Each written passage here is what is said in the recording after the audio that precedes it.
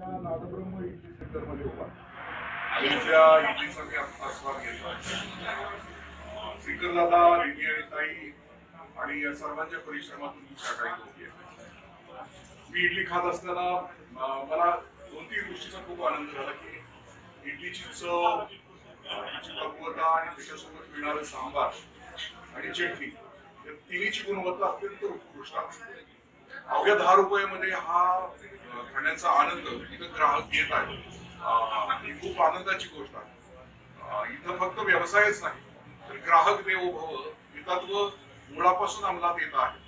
हे बघून मला खूप आनंद झाला.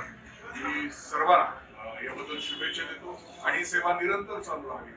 अनेकांची क्षुधा शांती व्हावी अशा शुभेच्छा देतो. जय हो मंगल.